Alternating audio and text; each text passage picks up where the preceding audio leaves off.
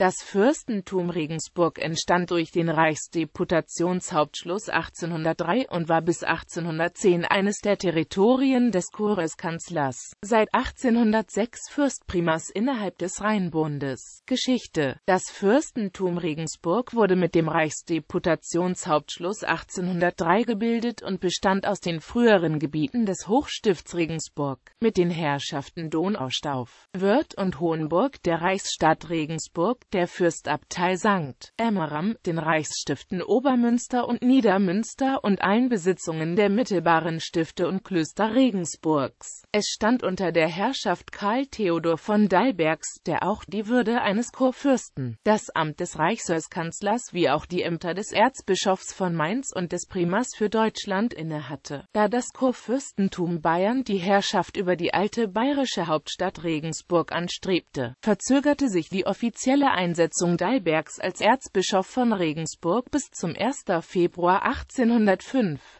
mit der Schaffung des Rheinbundes 1806 ließ sich Dalberg von Napoleon bewegen, als Fürstprimas an die protokollarische Spitze des neuen Staatengebildes zu treten. Das österreichische Korps Liechtenstein besetzte im fünften Koalitionskrieg zwischen Frankreich und den verbündeten Österreichern und Briten am 20. April 1809 Regensburg. Am 23. April 1809 wurde die Stadt von französischen Truppen in Brand geschossen und erstürmt. Dalberg versuchte, die Besitzer der ca. 150 abgebrannten Häuser auch mit Silber aus dem Domschatz zu unterstützen. Am 22. Mai 1810 trat Dalberg infolge des am 28. Februar 1810 abgeschlossenen Pariser Vertrags das Fürstentum Regensburg ab erhielt dafür aber den größten Teil der Fürstentümer Hanau und Fulda mit dem Titel eines Großherzogs von Frankfurt. Erzbischof von Regensburg blieb er bis 1817.